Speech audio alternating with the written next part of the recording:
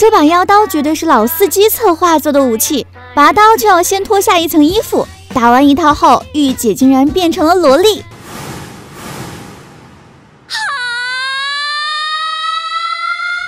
随着公会战结束，游戏已经开启了第四阶段。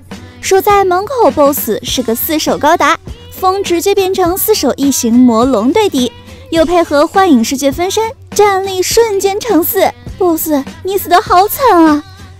蹂躏过后，众人进入第四层樱花宫殿，大家都为这美景所吸引，他们决定分头收集情报。莎莉没走多远，就遭到弗雷德丽卡的偷袭。他虽然屡战屡败，但还是不死心，一有机会就想打败莎莉。莎莉一点都不虚，随时乐意接受对方挑战。随即，两人进入决斗场。弗雷德丽卡起手不断设置障碍控场，莎莉使出刺客步伐轻松闪避，但这也在弗雷德丽卡的预判之内。他算好位置，释放多重实弹，一通连招后接上大岩弹攻击。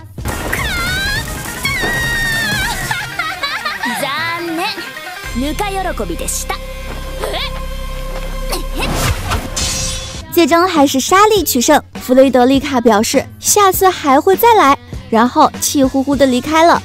但莎莉其实也是险胜，原来他是用了新技能金蝉脱壳，每天可以抵消一次致死伤害，这让莎莉想要把闪避技巧练得更强，因为她只把强大的风视为能击败自己的对手。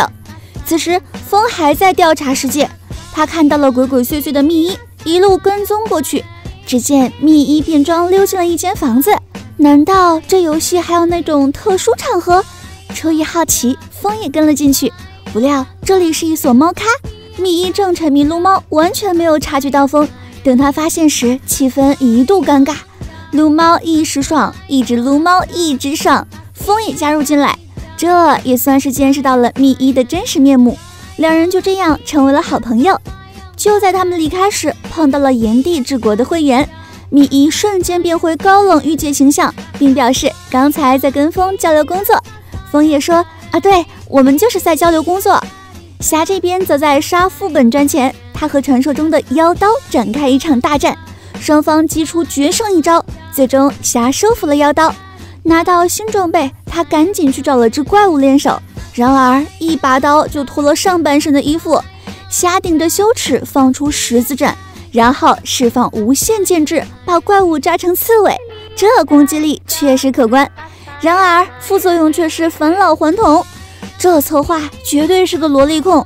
随后就是圣诞节活动，他们要在规定的区域内收集素材和活动道具。大家被随机传送到了不同区域。风一睁眼就被一群树精团团包围，他直接开大变成机械神。释放毒龙捕食者进行火力压制，一番激战后，风变成魔龙形态，正好遇上刷野的配音，两人一拍即合，决定组队刷野。这简直是吕布配赤兔，无敌了，打怪都不用动手的。这时，两人来到一处蜂巢，随后被一群毒蜂包围。空中战可是配音的绝活，他一跃而上，开始乱杀，眼花缭乱的速度都给风看傻了。风寻思也不能干看着呀，就打算清理地面的毒蜂，结果一不小心尾巴甩到了蜂巢，被蜂蜜瞬间粘住，无法动弹。配音见状，无心恋战，直接开大，发射流星雨，瞬间清场。随后关底 BOSS 蜂王登场，然而配音稳如老狗，一发圣剑将其秒杀。莎莉这边解决掉大蜘蛛，获得操控蛛丝的新技能，霞则是又变成了小萝莉。这副模样正好被新恩撞见，他立马抽出妖刀威胁对方，要求当做没看见。却不料，啊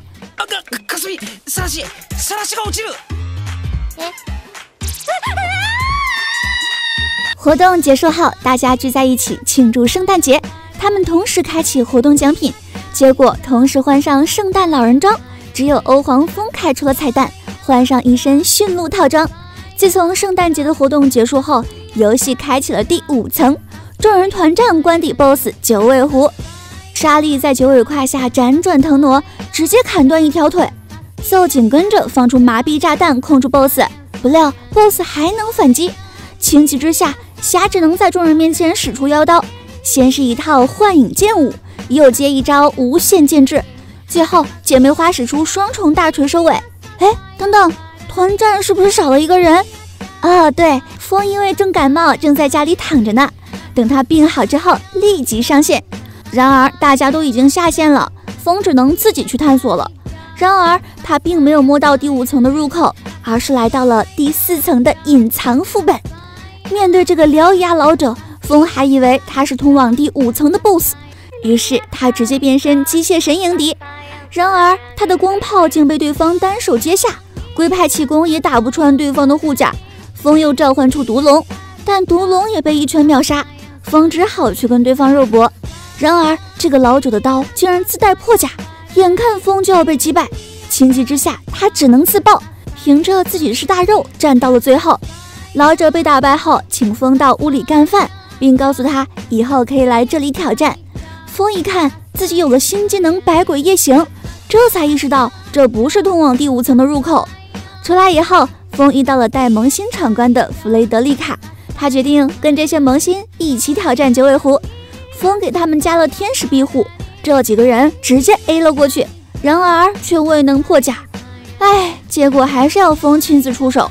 他发动百鬼夜行，好家伙，一群死灵兵团一拥而上，硬是靠群殴抡死了可怜的九尾。随后，风进入第五层云中城，正好遇上被雷电怪打败的两姐妹。风说：“走，咱们一起干他。”然后给两人加上超级防护，两姐妹冲上去，一锤就把雷电怪秒杀。随后，风又获得了新技能天王宝座，坐着就能自动回血，再加上飞天王霸，实在太帅了。这时，大家接到公告，原来下周就要开启第六层了。这次工会全员都在，带着 BOSS 水母就是一通乱打。虽然随着阶层上升，怪物的血量也变强了，但莎莉却非常自信。どんなモンスターが出てきたってこのメンバーなら負ける気がしな 沙莉秒怂，因为第六层正是他最怕的恐怖地带，把莎莉吓得直接离线。他还让风开放第七层后再来喊他，不过下一刻他就改变了想法，因为第六层有敏捷专用的强化道具，于是他便和风一起前往道具关卡。风是一点都不怕，直接变身机械神。把怪物全部轰成碎渣，果然一切恐惧源于火力不足。然而下一秒，两人就被传送分开，一双鬼手差点把莎莉吓死，想强行下线也下不了，只能和一群妖怪疯狂赛跑。就在他要被抓住时，风直接变成异形魔龙迎敌，结果莎莉更害怕了。没有办法，风只好开启天王宝座，这下妖魔鬼怪都进不来了。就在两人考虑还要不要继续探索，怪物的仇恨却被突然引走。原来是之前的萌新也闯进来了。趁他们拉怪的时候，莎莉借机扛着风拼命逃走。出去以后，倒是给了莎莉一个新技能，效果是概率让道具效果翻倍。这天，风自己在第六层开始探索，他碰到了一对幽灵姐妹。风的移速太慢，根本追不上他俩，还掉到了满是史莱姆的陷阱里。风使出念动力，把史莱姆变成套装，随后瞬间用毒液将二鬼干掉。就这样，他得到了第六层的宝物。然而，这骚操作愣是给游戏卡出了 bug，策划都无语了。风回去后换上一身新装扮，又把道具送给了莎莉。然而，莎莉出门一用，立刻就把道具原物奉还。原来，这道具效果是召唤两只鬼手。平日怕鬼的莎莉肯定不敢碰啊。之后，米伊邀请风一起刷野，他想打败鬼火，获得强化火焰的技能。风很清楚对方请自己的目的，直接开启天使庇护和天王宝座拉满防御。在风的保护下，米伊直接开大，念了一大串咒语之后，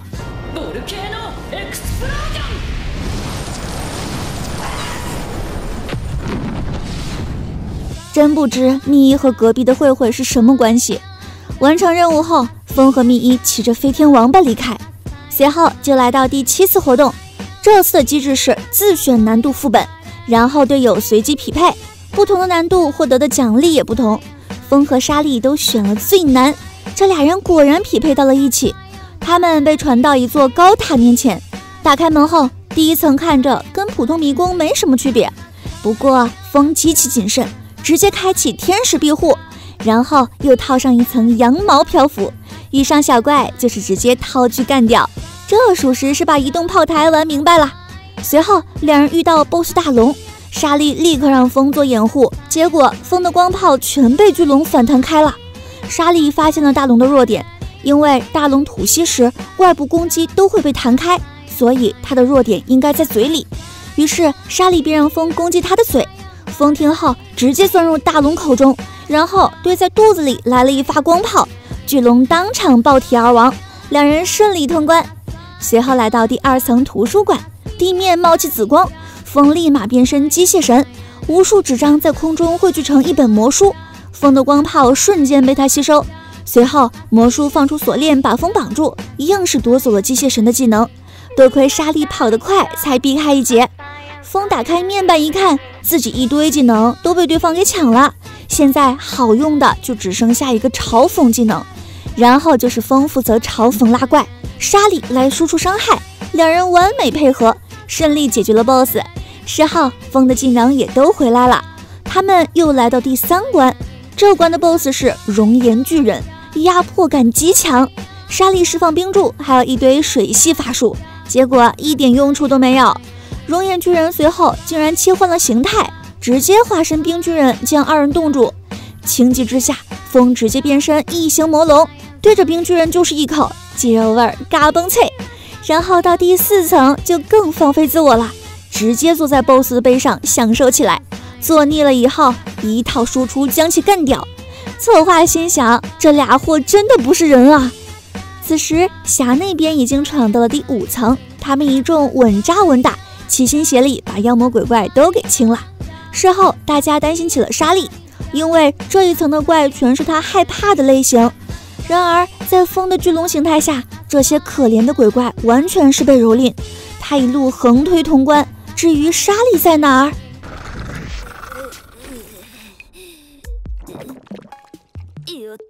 策划对此是无力吐槽，直接换台去看配音的队伍。没有对比就没有伤害，他们是要输出有输出，要法师有法师，一众人齐心协力通关，这看起来才像是正经打游戏的。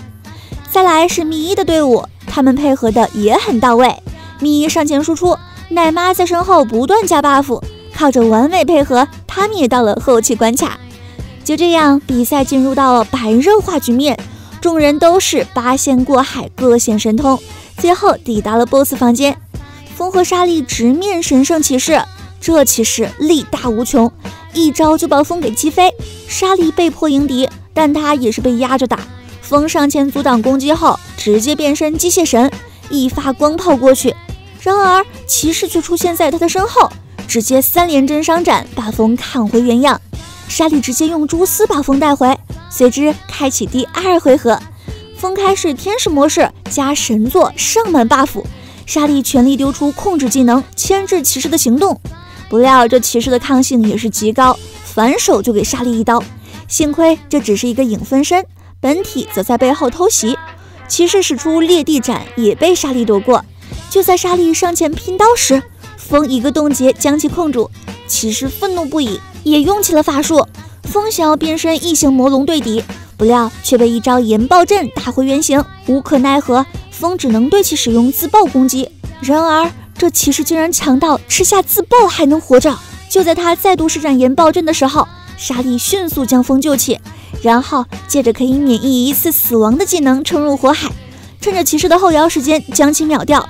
随后在风即将衰落之际，莎莉完美的将其接住，男友力爆表。活动结束后，莎莉选择了控水术，风就不必说了，果断选了加强防御的不坏之盾。随后，大枫树全体来到了第七层，这一层有各式各样的怪物，而且可以把它们驯服成自己的宠物。不过，只有那些长得很像神奇宝贝的才能驯服。驯服的方式各种各样，击败怪物、赠送道具或者使用牵绊戒指都行。系统还提醒大家，在下一次的活动中，有宠物的玩家会更有优势。风和莎莉早就有了自己的宠物，所以把目标定成活动开启前让所有成员都获得宠物。风带着姐妹花两人寻找宠物，他们在森林发现了两只小熊，外表可爱，还能一人一只。三人立刻追了过去，然而熊跑的实在太快了，他们根本追不上。风找到伊兹讨要道具，就这样，三人直接变成兔女郎，还要再制作一瓶敏捷药水。于是风就开始外出采集的工作了。他来到海边采集素材，不料却被几只触手突然绑走。等他清醒时，发现自己已经在一处洞窟，而那些触手还不放过他，紧接着再次把风绑了，并把它给吞了。风就这样来到海底最深处，在被触手蹂躏一番后，还被一口吃掉。风在章鱼的胃里来了一刀，直接又被吐了出去缠住。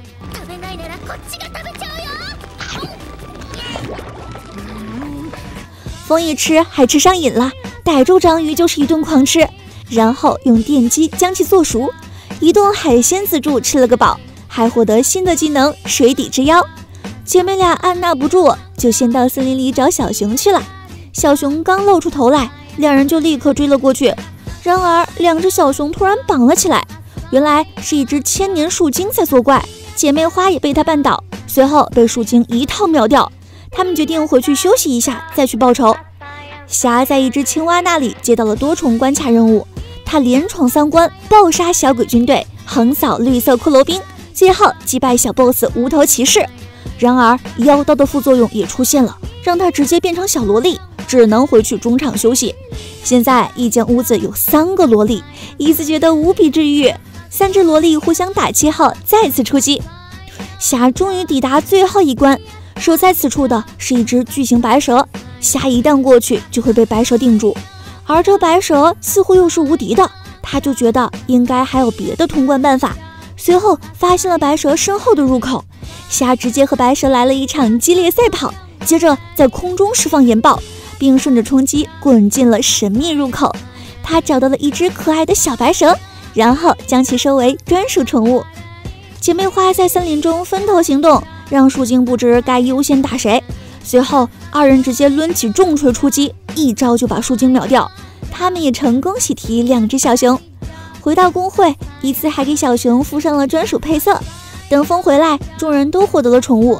然而众人一看，我去，风怎么变成这副德行了？原来他吃了章鱼之后，也获得了章鱼的能力。姐妹花和霞都获得了宠物，风也搞到了新的能力。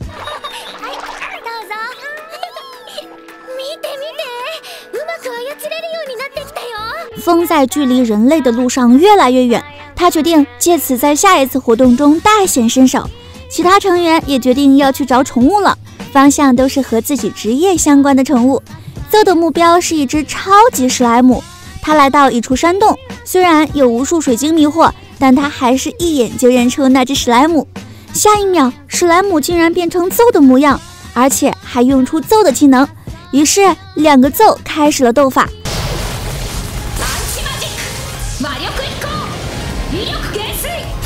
一通激烈的连招后，最终还是本体更胜一筹。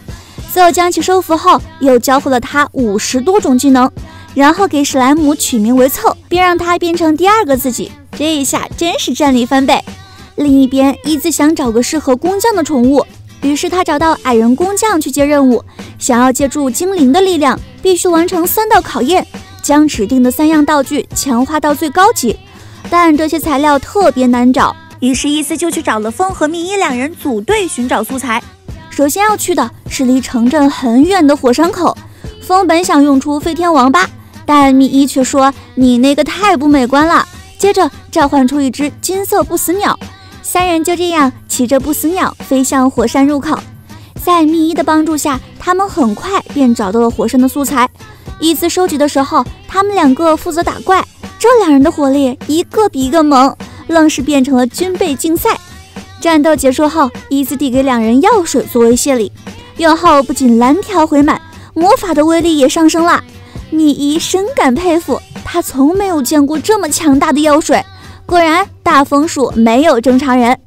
之后遇到了 BOSS 熔岩龙，风见状直接开启天使庇护和机械神形态，随后用触手把龙的嘴死死堵住。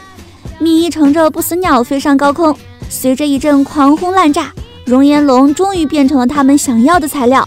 之后，三人继续飞向下一处关卡去刷素材。这时，克罗姆接了一个超长的支线任务。在探索过十处地点后，他终于抵达地下洞穴，干掉一大群怪物后，克罗姆来到一艘幽灵船上。克罗姆击败骷髅船长后，发现了一个宝箱，金币什么的都不重要，里面的戒指才是最强的法宝。克罗姆戴在手上，他的宠物就是幽灵铠甲。此时，伊兹已经做完了任务，矮人带他来到了秘境，给他一枚戒指后，召唤出一只精灵作为宠物。现在是全员都集齐了宠物，克罗姆更是表演了一出铠甲合体。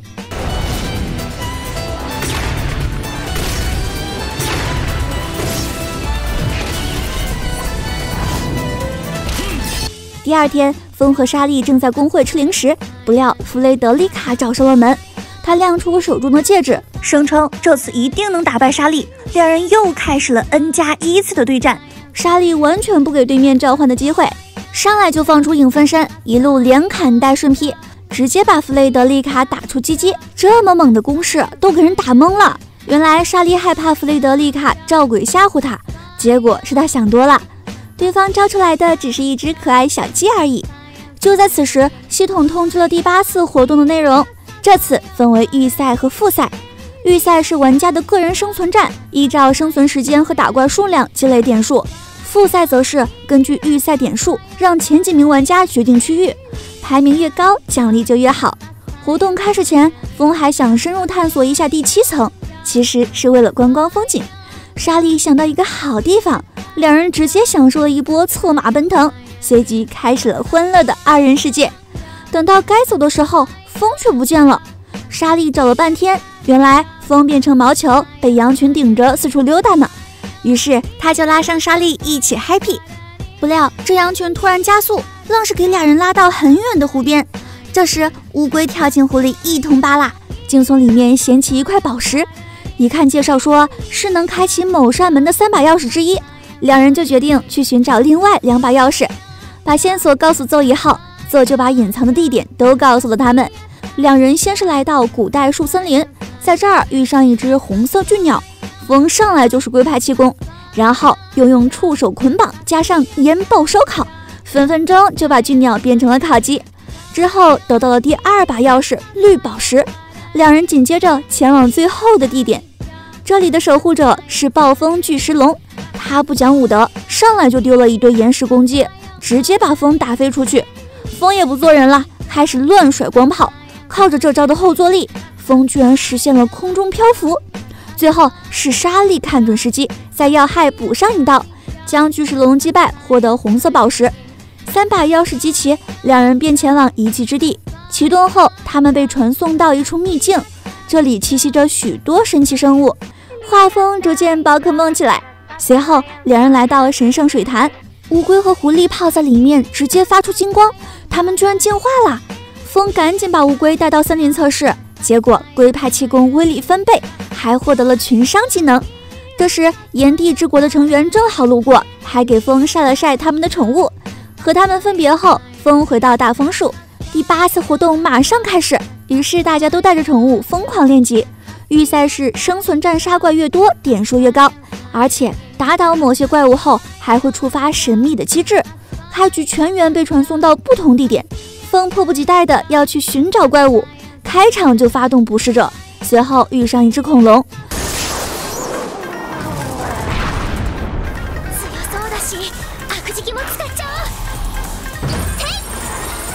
这真不知道谁才是怪物了。随后风是一路横走，不知道打死了多少怪物。在他们眼里，风才是怪物，刚一碰面就吓得拔腿就跑，而风的速度太慢，根本追不上。他打开面板一看，身上居然多出来一大堆 buff，其中一个的效果就是怪物会远离他。风寻思，都跑了，这还怎么杀怪物？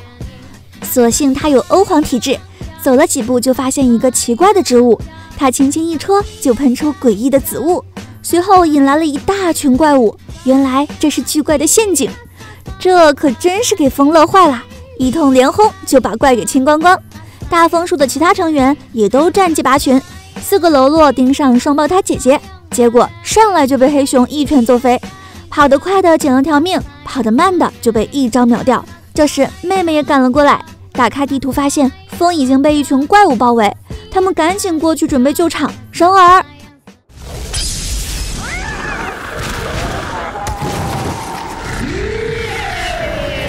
对不起，看错了，是怪物被风包围了才对。就个毛线，溜了溜了。另一边，伊兹向队员发送消息，让大家不要靠近他。原来他在森林中布下了一大堆爆弹，将其用魔法隐形后，又做了牵线，只要有人碰到，保准是粉身碎骨上西天。最后，他给自己加上护盾，坐在树上吃瓜看戏。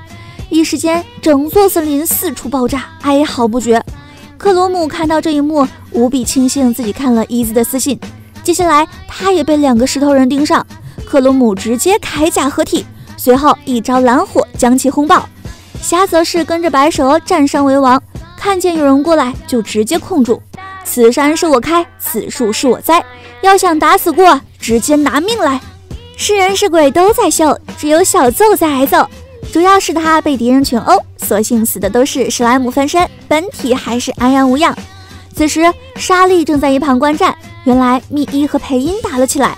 火焰鸟释放岩爆，洛奇亚释放龙之波动，两只宝可梦互相对波，场面极其壮观。密伊决定使出底牌，一招火焰漩涡直接炸裂，裴因勉强接下。他倒是不想这么早就使出绝招，就在两人准备再度交锋时。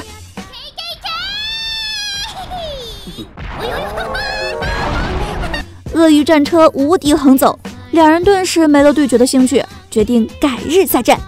莎莉过去问这是什么情况，风说他是被大鳄鱼偷袭吃了，无意中使出长毛技能，结果歪打正着就能操纵鳄鱼，现在不但跑得快，还能随意发射光炮，真是给莎莉都看麻了。差不多得了，最终大枫树名列前茅，全员通过预赛，一转眼就来到了复赛。大枫树毫不犹豫地选择了最高难度。复赛内容很简单，在保证生存的前提下击败精英怪物，或者在隐藏物品中寻找银币。大枫树全员出击，刚进入地图就碰上两只怪物。风使出守护天使共享防御，等伊斯加好 buff 后，乌龟一招龟派气功轰了过去，姐妹俩直接上重锤。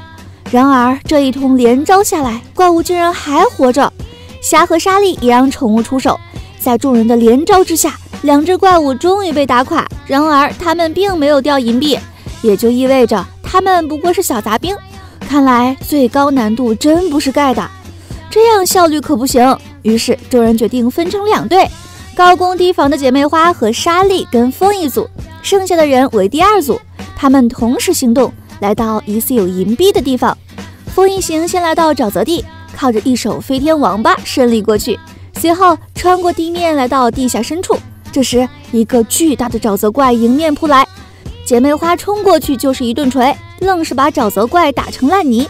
然而这怪物并没死，而是反手抓住姐妹俩的脚。莎莉立刻出手解救二人，风赶紧再用出飞天王八拉开距离，姐妹俩趁机掏出炸弹，对着怪物就是一通狂轰滥炸，足足炮轰半小时，沼泽怪终于顶不住挂了。他们率先获得一枚银币，第二组则是来到一处森林，触碰印记后，他们被传送到了精英怪领域。结果突然有飞镖偷袭，克罗姆一招挡下，树林密集，找不到敌人的踪影。伊兹就在森林里布满炸弹，一通一数就是爆炸后，奏放出圣光，找到了隐身的敌人。侠过去就是一套幻影剑舞，最后由克罗姆收走人头。如此一来，大枫树已经获得两枚银币。他们全体汇合，找了一处洞窟作为据点，封在里面涂上毒液，又安置了一堆炸弹陷阱，一次做好室内设计，再加上一排大炮，保证叫怪物有来无回。最后在门口放上一个警示牌。好家伙，这是什么修罗场？随后怪物浪潮来袭，洞窟疯狂震动。风和沙莉出去打探，怪物已经全军覆没，只留下了一地素材。众人赶紧布好第二轮陷阱，不过下一波怪物降临还要等很久。于是大枫树内部就玩起了抽鬼牌，策划们看了都快吐血了。这愣是让风完成了塔防游戏，这可不行。于是策划也想出了对策，我直接用传送给你们都拆散了，地图和信息也给你关了，看你们会不会被淘汰。风被传送走以后，立马又想出了骚操作。他在自己身上绑满炸药，然后飞天引爆，这样队友一看就知道怎么集合了。然而他却引来了一个空中怪物，正好赶上风自爆的瞬间，这一下就给他上西天。风正好落在密一的火焰鸟背上，载了封印城后，他给了风一张信标符，用这个就能确认位置。随后，密一继续去寻找自己的队友，牧师则是跟克罗姆肩并肩。好家伙，奶妈配大肉，任他怪物再多也打不动。两人愣是撑到密一赶来救援。克罗姆决定先跟着密一一起行动。此时，两个辅助被传送到了怪物们的地下城，他俩靠着隐身一路来到 BOSS 门口。马克思使出飞雷神之术，直接绕过小兵，把大炮怼在 BOSS 脸上，一通狂轰滥炸，瞬间把 BOSS 送回老家。这动静直接被密一发现，正好接上两个出来的辅助，他们已经击败了 BOSS，各拿了一枚银币。霞此时正和辛恩联手，他全力干趴了一只大蜈蚣，随后妖刀诅咒发作，变成了一只小萝莉。看见密一的火焰鸟，辛恩高挥手臂，想要把同伴招来。霞却很担心这副模样被人看到，不料辛恩直接将他抱起来，然后放在自己的肩上，一时间让霞不知所措。不是冤家不聚头，莎莉则是跟着弗雷德丽卡传送到了一起，两人并肩作战对付来袭的怪物。他们决定去寻找高攻低防的同伴。此时奏正在保护脆皮姐妹花，他俩猫在树洞里，自己跟配音队的坦克在外面防御。就这样一直等到莎莉赶来。随后，裴英也及时赶到，就这样几方人汇合到一起，但他们目前都没有据点。这时，莎莉提议让所有幸存者联合起来，一同在大枫树的据点御敌。就这样，三大公会顺利联手，共同建造这个据点，将其化为最强的全玩家大本营。这真是给策划都看傻眼了！这么多玩家要是都通关了，那他们又得加班调整游戏了。策划只好派出更高强度的怪物。然而，两大会长亲自出动，一通烈焰配闪电，怪物们就在光之洪流中灰飞烟灭，威力大到摄影机都被打坏了。首战告捷后，风提议大家重新匹配分队，按照各自属性适配度分成四个大组，今晚就要外出去把银币拿个痛快。咸鱼玩家则留下来看家，他们联起手来，一同应战袭击据点的怪物们。姐妹花一组成功抵达湖底。先是凭借马克思的隐身术展开探索，然而这里的鱼全部都是怪物，它们的数量太多，硬闯就是自寻死路。觉得见状，赶紧召唤魔宠，展开暗影领域，潜入地下，成功避免了一场战斗。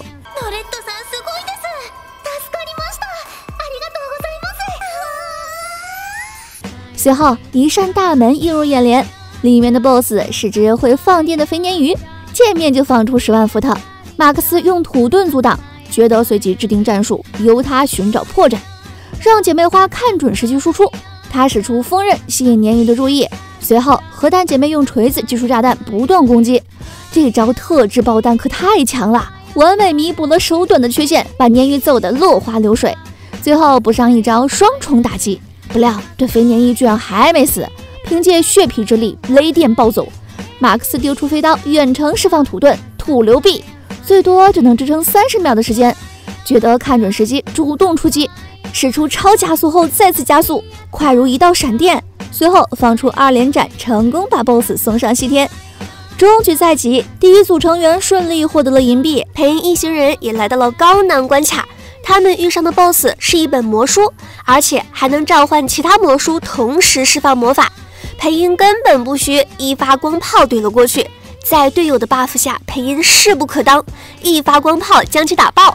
由于赢得太过随意，几人决定再去刷刷下一个关卡。霞所在的小队也配合得天衣无缝。他先是让白蛇形成保护阵作为据点，随后让辛恩把剑分裂出去做探测器。就这样，一行人成功摸索到了敌人据点。辛恩又把剑当做踏板，让大家顺利来到 BOSS 门前。BOSS 是巨蛇，还有巨蝎，并且带了一众毒虫小弟。然而这俩 BOSS 中看不中用，在霞等人的配合下，一套组合拳就干掉了。再来是风那一边，他们一路狂轰滥炸开路，风更是提议用机械神形态飞过去。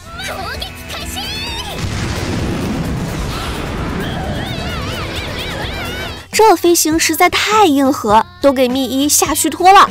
三人来到 BOSS 房间，只见从蛋里爬出一只异形。风一看，这不是超我技能，直接变身异形魔龙。两只怪物直接对起了嘴炮，谁也不让谁。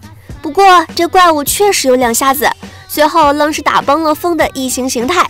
大家决定联合进攻，让魔宠一同释放技能。在合击绝技下，怪物最终还是难逃一死。随后，众人都回到据点庆祝胜利。大家的银币都收集够了，接下来只要活到最后，就能拿全奖励了。但是策划岂能让你们如意？直接派出大批异形攻击，一旦风的据点被包围，就麻烦了。所以大家决定一致出击来对付敌人。三大公会一同飞上天空。寻找一处高地作为最后的坚守点，他们在这里设置好陷阱，做足决战的准备。随后，一道紫光冲天而起，大家都一脸疑惑。从里面走出一只百米高的终极异形，众人是倍感压力，这玩意儿怎么打？而后，异形一声怒吼，竟然召唤了陨石流星雨，风直接开启天使模式，用神盾将其阻挡。一场核爆过后，众人安然无恙。不过刚才已经是极限阻挡，再来一发，风可能就挡不住了。异形紧接着又放出破坏死光，横扫战场，一时间大批玩家灰飞烟灭。风提议去协助普通玩家，众人虽然有些犹豫，但随即都同意了。这次毕竟不是玩家和玩家的战斗，应该携手互助。越多玩家活下来，怪物的注意也就越分散。迷伊和配音决定去消灭小怪。大枫树则是去牵引只巨大异形。就在三个普通玩家要被踩死之时，一发龟派气功怼到了异形身上。回头一看，我去，飞天王吧！风赶紧让乌龟降落到地面，他们乘坐小白一路尾随巨大异形。商量一番后，决定分头削减异形的血条。风当即变身异形魔龙，沙利使出幻影世界，分出五个分身。奏也用幻影世界再来一套，愣是凑出了一个异形兵团。他们集体出击，抱住巨大异形的腿就开始乱啃，众人紧接着跟上。姐妹花负责输出，克罗姆则是用架盾阻挡巨大异形的光炮。血条不够了，再涨回来。在姐妹花的重锤之下，巨大异形也终于跪下。在大家的围殴之下，异形的另一条腿也垮了。然而，巨大异形也不是吃素的，它再次积蓄能量，随后射出无数道能量射线，扫荡分身。风不过被擦了一下，就从魔龙形态变了回来。随即，异形又召唤陨石袭来，奏及时放出魔法，把众人化作火焰等离子体，愣是无伤回避了陨石攻击。在众人的合力攻击下，巨大异形竟然打不过就跑了。然而他没察觉到，沙利和风还趴在他的背上。风直接用光炮轰穿异形的翅膀，想让它从空中掉落。沙利也同时出手帮忙。在两人的配合下，巨大异形总算是摔了下来。可异形的攻击却瞄准了沙利，风二话不说冲过去阻挡光炮，这招愣是打碎了机械神形态。不过两人也保全了性命。此时，蜜伊和裴英也赶来支援，工会成员随之展开全面进攻，大家毫无保留地释放技能，能输出的输出，能打空的打空，技能全部扔到脸上。连咸鱼玩家们也都尽了自己最大的力。中场休息后，风再次变身机械神。现在是三大公会长大战终极异形。裴英和密伊使出合击绝技，随后飞天王八放出龟派气功。巨大异形此时挣脱控制，反手就给风一耳光。这一下竟然差点把风打死。异形还想继续补刀，眼看风就要挡不住了。沙利见状，拼上最后的一点蓝条，踏空而行，给风递上了血药。这下风就有了底气。